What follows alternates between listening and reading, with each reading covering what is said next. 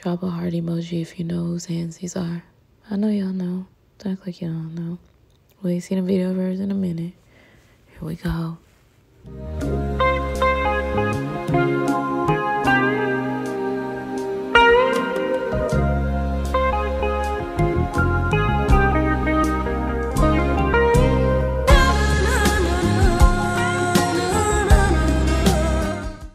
Hello everyone, welcome back to my channel. So today's video I'm going to be showing you guys how I achieve this look from beginning to end. It's so beautiful and it is inspired by Johnny Depp.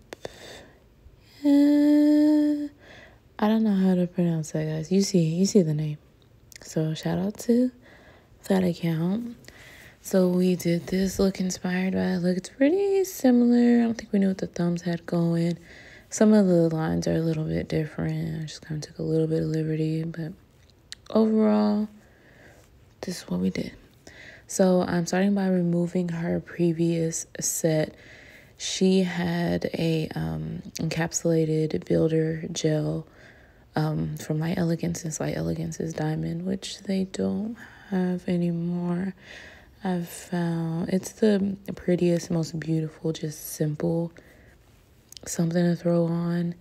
It's not too silver, it's not too white. It reflects like crystals do, like kind of a rainbow effect, but it's not holographic.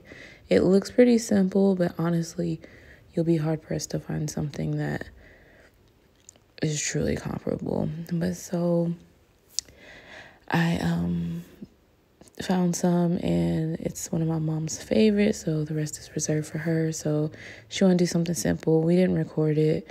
Um, i did these i think the same day when i did those um, ones for my sister with the 10 different designs which took a minute to draw. So we just did something simple on my mom for that.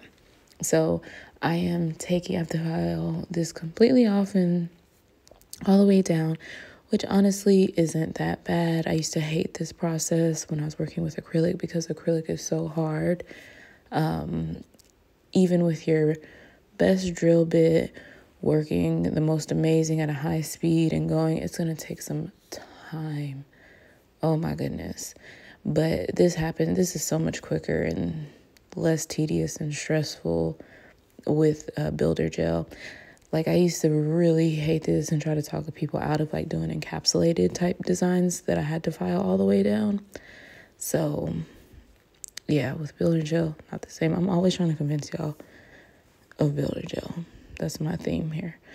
Um, so I'm filing it down and it looks crazy like I'm filing her natural nail, but I promise you guys I'm not. It's just different layers of nail product um, make it look like that. Like it's more pinky in more areas and less in others. But there's still a layer of base gel there. So don't fret. And so after I get it all debulked and we're basically as close to the natural nail as possible that I feel safe going. And I generally will go in at this point with a crosscut bit if I need to get it even more smooth. Um, but I don't think I did or didn't feel the need. So I'm using, I believe this is the itty bitty bit from Light Elegance. Okay, I just checked. Yes, this is the itty bitty bit. I'm sorry, I'm getting used to the names. Um, it's a set I got recently, so I'm not used to the little cute names yet. The bit I used to debulk was the speedy bit, and I use that bit at about 30,000 to 35,000 RPMs. I use it super fast, so I don't have a lot of heat and friction on the nail. I know it seems scary, but um, I really find it best to use at those higher speeds. I would at least, at the very least, go to 20, 25,000 RPMs. Probably not much slower than that. Or you're going to start doing the complete opposite. Well, not the complete opposite, but you're going to gain friction. You're not going to be able to move through the nail like, with ease, like butter. So it sounds intimidating, but to get the best use of that, it's at a higher speed. So I am going in with this shaper bit, which is a crosscut style diamond bit. Um, and I'm debulk, well, I'm not debulking, I'm kind of getting more of that product off of her natural nail just to get a smoother surface to remove more of that product. um, near the sidewalls just to make sure we don't have any issues when we apply the new product onto our nails.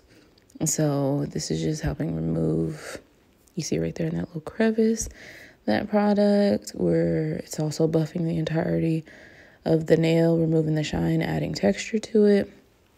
Then we're going in with the, what is this bit called? It is the Buffy bit.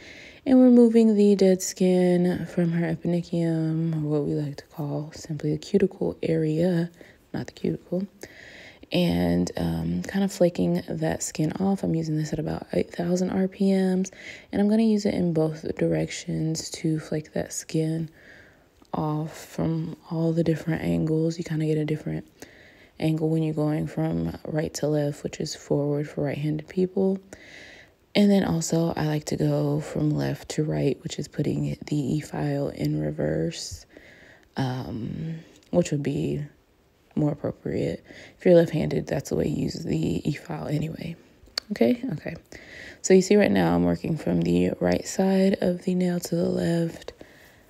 I um, kind of zoomed out a little bit this time just so I can get a full scope of what is going on and um, just flaking that skin off.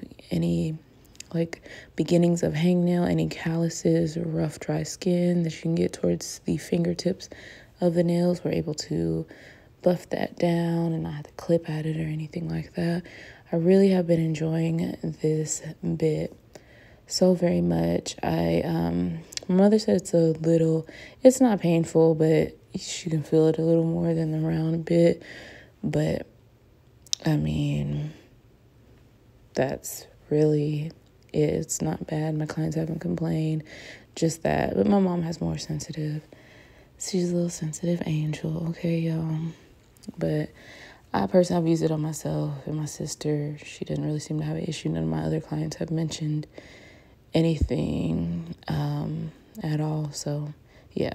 So you can see I'm just working on flaking that skin up. We are hoping that she uses her. My mother's probably the best person at using her cuticle oil the most often, but we in our family we have dry skin. We do. There's psoriasis, eczema, and stuff. I have it. My mother has it, and just various things going on you know so you never know what nobody's going through and it, it can't even it, it doesn't even have to be something that serious y'all little judgy boots out there that's what y'all that's what y'all are okay and y'all don't even know the whole story because somebody always want to act like they know the situation but anyways we're back on task so i'm using these coffin medium ivory nails and i'm doing this to extend that nail she had broke a nail and this was a very, I love this fix. I use it on her pointer finger on her left hand. Um, and I love this fix super well. And this is Air Bond. I cleanse the nails, remove the dust and everything, wiped them down um, with, I believe, alcohol or Light Elegance's um, cleanser. And I'm using this Air Bond. Air Bond is a bonder that basically is cured by the moisture in the nail, the nail beds. It's great for people with um, hyperhidrosis, oily or wet nail beds, people who whose hands are in moisture. Um, nail biters usually have issues. So it's a great just added little product. So I've been using both on my clients lately, regardless of their status. That's probably not the best phrasing. Um, just to make sure they have really good adhesion. And then I'm using Light Elegance's Tack, which is a cured bonding agent. Both of these I am using to have excellent adhesion. And I have been having really, really great adhesion using this too with a variety of clients lately. So then I'm taking the um, that tip, uh, that extension, the Daily Charme one. Use code and the number 10 to buy these sets. I absolutely love these just as how they're supposed to be applied. They're great. This is not how they're, with my air quotes, supposed to be applied, but this is how I'm using them. Like I said, I'm using this as extension. So I'm using, I don't think I could find the Daily Charme's extender. I'm using the Apres Gel X Extend Gel. And I'm applying it as you normally would towards the cuticle area, but I'm applying it a little further down the nail as an extension. And like I said, and I'm just curing it, making sure I have no bubbles. I kind of measured it out to make sure it matched um, close in length to her middle nail. We always want the middle nail. I oh we don't. I like to make it just a little bit longer because it's wider when we're trying to get our proportions right. And um, so measure that up and applied it. Boom. So then I am using Jimmy Gel Ideal Pink as a base gel. And I actually was initially going to build the nails out of this product, but I decided not to and just to solely use it as a base gel. You definitely can. Um, I just felt like with the length of her nail, the apex I would have to get, I like a medium viscosity this is a little bit of a thinner viscosity, not a thin viscosity, but a thinner one than I would like to work with with building because these nails are almost bare. They're essentially basically bare. Um, they're still technically product on there, but yeah, so we have to build these up a good little bit. So this didn't just didn't wasn't the ideal product for this scenario. If her nails wasn't as long, weren't as long, and I didn't have to build them as much, then I would quite possibly use this product for that situation. I was about to on this pinky, then I switched, changed my mind, and I used the Ideal Pink, the same color, but in their builder gel. So you can see I showed you guys the guys um, the pointer that was made from the Daily Charme tip and I applied it the same way probably about the set before this one set or two sets ago. And um, you can hardly tell. It looks like a regular extension just fine. And just so you know I'm using Light Elegance's um, gel polish brush y'all, y'all know I love Light Elegance um, it is a brand if you go to the website it is professional only you can if you if you know down below this is a controversial topic and I'll speak to it like this because that's not what we're here for. I believe Skyline Beauty Supplies sells it to anybody. And if you want to discuss down below where you can obtain it, um, but we all must know we shouldn't be working on others for money without a license. And y'all put that together however y'all want to. And that's that. so I um, decided, I just applied that building base to that extension nail, that ring fingernail. And I just did that and I'm going to leave it for now and build up all the other nails. Just so I don't have to deal with dust because I want to file that out and make that more flush. But I don't like dealing with dust in the middle of me building up the nails. So you can see I applied a thin layer of that um, builder gel went ahead and cured it, just applied a thin layer like polish, went ahead and cured it. And then after that, I'm going to start um, building the nail. The reason I did that because, and I answered this in a premiere video, somebody was asking um, about heat spikes. Like I said, my mother's a little more sensitive. Um, me and her, we both have thinner nail, um, thinner nails. So, um, and that's just naturally, it's not because of damage. I've had thin, paper thin nails since I was a child. Um, they'll flip back without even hurting or anything like that. So they're just a little more sensitive. So the thicker you build the gel, the more heat it will usually um, produce. So if you can start with one or two thinner layers, they won't produce as much heat. And then in turn, when you try to build it up a little more, you'll kind of have basically a barrier of gel there to kind of protect your nail from the heat that the thicker layer is going to produce. Hopefully that makes sense. So, anyways, I built the nail up with the builder gel and then I decided to go ahead and use the Jimmy gel again just to finish it off because I was applying this very quickly, kind of not perfect, which it doesn't need to be. Builder gel, I always say it's so easy to file. Any mistakes, lumps, and bumps you can knock out really fast. But um, this self levels, the Jimmy Gel self levels beautifully. And like I said, I don't want to build the bulk of this nail up with this product because it was a lot to build up and a lot to move around. But now at this point, I don't need to build a lot. I just want to use this for its self leveling quality. So I want to get this nail pretty smooth, as close to perfect in a way that I can so I don't have a lot of finish filing to do. So you can see me kind of perfecting that. So I built all the other nine nails and now I'm back to this extension nail. So prep this nail as usual. You see I applied the tip with the extension gel from Apres Gel X, not because something's wrong with the Daily Charme one, um, but just because I couldn't find it at that second. So I'm trying to make this flush um, where the extension meets the natural nail. So I put that uh, builder gel, just kind of bridge that gap. And so move, removed all the dust. I'm applying tack again and curing it just so what I build on top of there, I can ensure that it adheres properly. So then I'm applying a thin layer right here of the builder gel, the Ideal Pink builder gel. And then you see I'm kind of applying it like polish.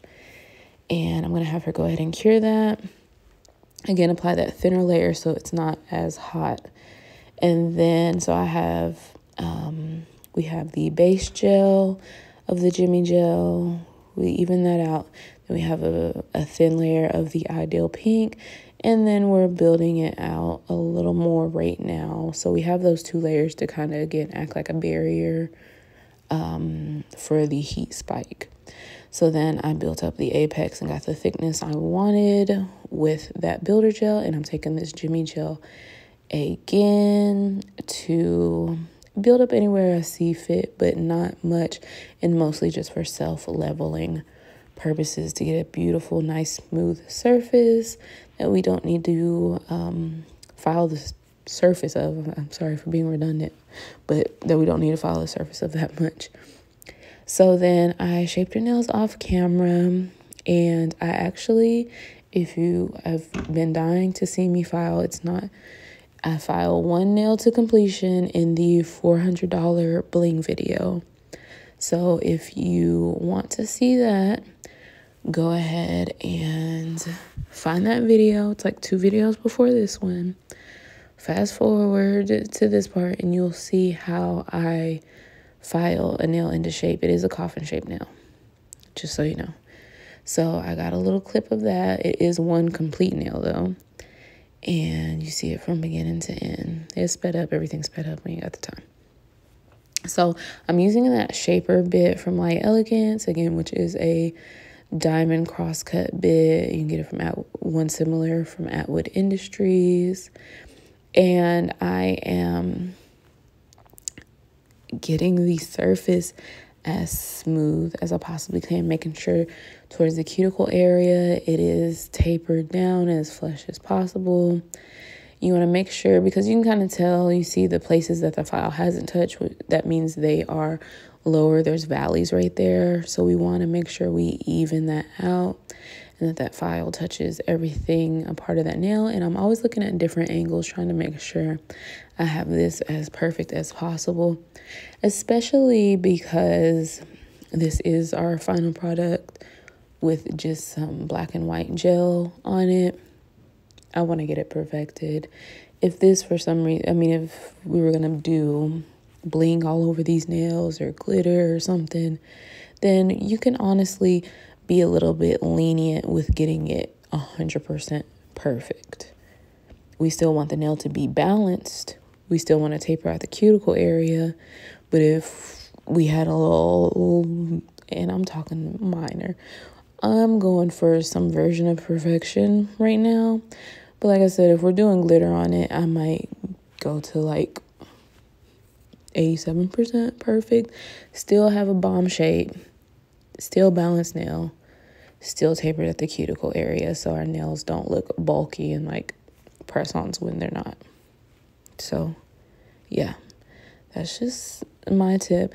And just to kind of speed things up, and I don't have the audacity to really say that, but I gotta find speed where I can because you know I am a perfectionist. I'm not a perfect person, not a perfect tech, but somebody who tries to seek a level of perfection to a point it can hinder me if I really want to be introspective about it. But that's another story for another time. Um, so, you know, we don't have to do that at times, but right now that's what I'm trying to do. Anyways, so you see, I'm checking from left to right. I'm checking the profile of the nail, down the barrel of the nail, and just filling the nail. You'll see clips of me filling the nail with my thumb. It happens real fast because this is, of course, sped up. And I'm just filling for any lumps and bumps and inconsistencies. Again, I want to reiterate because this is a simple, not simple nail art, but there's not much that can hide any mistakes. And because we're doing very straight line work, we can't have these extreme hills and valleys in the nail because that will distort our lines. Hopefully that makes sense. So I am using those gels um, along with Perfect White and Perfect Black, I believe, from Madam Glam. And you can always use Cotabsa from Madam Glam. And while we're here, Madam Glam just released some new reflective holographic gel polishes. So did Daily Charme. I have a live video where I reveal them. And follow me on Instagram at Tabytha Scott underscore nails and I did a little uh, reveal of those colors. They're absolutely all beautiful. The ones from Madam Glam and the ones from Daily Charme. I'm kind of super loving the ones from Daily Charme. Um, but yeah, just their color options, the ones that I picked, super cute. So you can see what I'm doing. I'm using the striper brush. I believe this is the one from Poochie's Nails I've been using as of late. But you guys know for years, or you might not know, you may be new. For years and years, I use the long striper um, from Wildflowers Nails to do all my artwork and have super enjoyed it. I have it over here in case sometimes I need a couple stripers going depending on the artwork. So, yeah. So, what I decided to do was to go ahead and apply a base gel. Um, because I didn't like how you you, you need that um or you going to apply matte gel polish. Let me get my words together. Because I didn't like, and I didn't wipe the tacky layer off, so you see that didn't work. So wipe the tacky layer off. That way I get a smooth surface to apply my um, artwork to. Because we don't have those deep hills and valleys, but because of the way in which I left that buff surface, there were minor, um, not indentions, that might not be the right word. You can just see the texture of the bit. And so the line, the gel kind of pulled to those areas. So this just felt it, felt, y'all, I can talk, filled in those areas so we can get a much smoother and crisper line. Like I say, these lines are saying a lot. They are. And actually, this wasn't super difficult um, to do. Honestly, cheat, it seems elaborate when, for me, when I do like the straight type lines.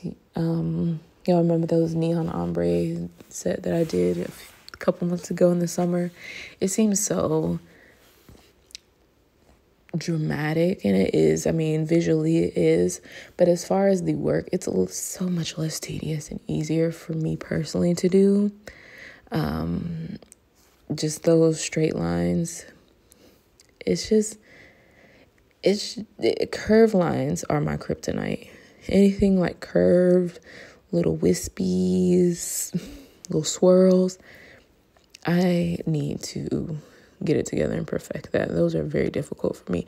Straight lines, we can do that all day and get it done in reasonable amounts of time. Swirls, no, because the striper is a straight.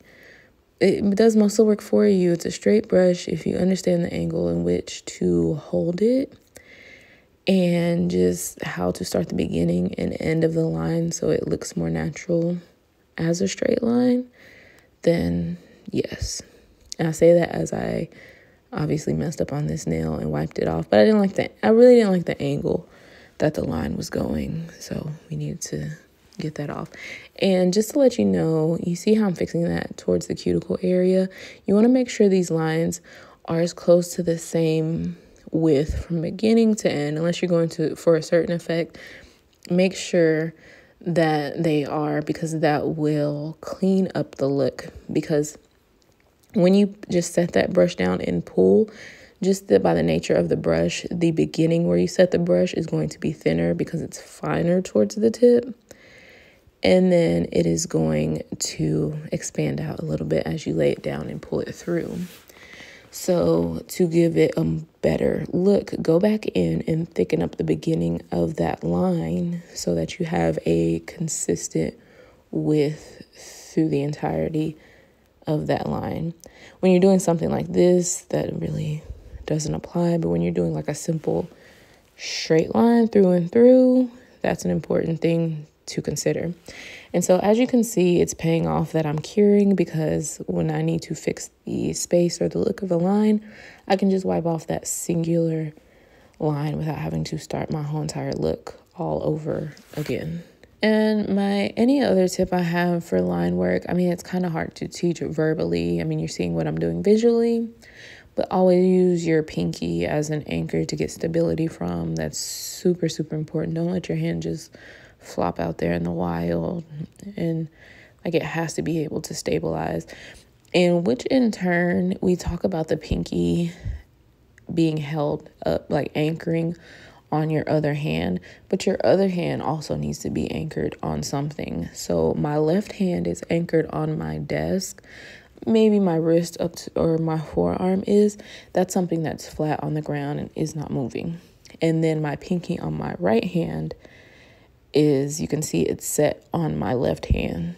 So it's not just the pinky on the right. It's what is that pinky up against? On your left hand, okay, is your left hand stabilized? What is that on? Oh, it's on a table that's sitting on the earth and not moving. Great. So it's a train of stability. Okay?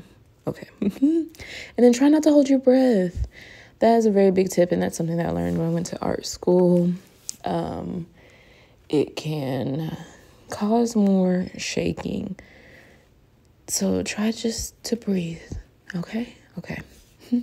so we're using a crystal gel, and you see we added that black. I didn't get much clips of that. It wasn't really amazing. You just seen where I added it. Just doing the same thing.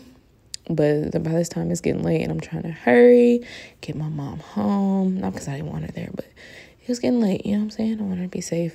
Her and my sister come over the same days. My sister got little cow nails. We did that. She liked them little cow nails, don't she, y'all? They cute. I got the video on it. We'll do that later. I have so much content for you guys. And um, I'm trying to post every Tuesday, Thursday, Sunday. And I'm going to try, I really like doing the premiere videos. And um, you can see I'm using Crystal Moonlight and Crystal AB for these stones, and I'm using beads from dailycharme.com. They have these little micro beads, and I am using this little LED light. You see, Daily Charme, boom, to set them in place when I get them where I want them.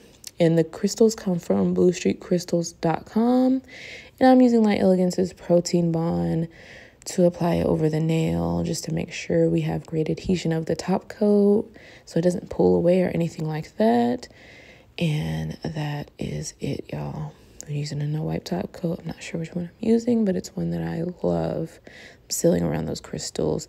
Never over the crystals, next to the crystals, around the edges of the crystals, not on top of the crystals, over the beads. Seal over the beads that's absolutely fine. It protects their color. Make sure they they don't have a lot of surface area to stick to the nail. So we like to seal over them. And this is our final look, guys. So yes, thank you for watching. Don't forget to thumbs up, put a black heart, a white heart, put both, put either or for this look. Tuesday, Thursday, Sunday is what it's going to try and be. And I'm going to do the premiere videos if you're not aware what those are. You watch it, we do a chat and then after that it's available but at first for the first however many minutes it's like a live video it's a super cool thing i've never actually done as a um, person who watches youtube but it's super cool. Anyways, I really thank you guys for watching and taking your time. Shout out to my mom getting this super cute set for y'all to see. All right, you guys. Don't forget to thumbs up, like, subscribe. Bye.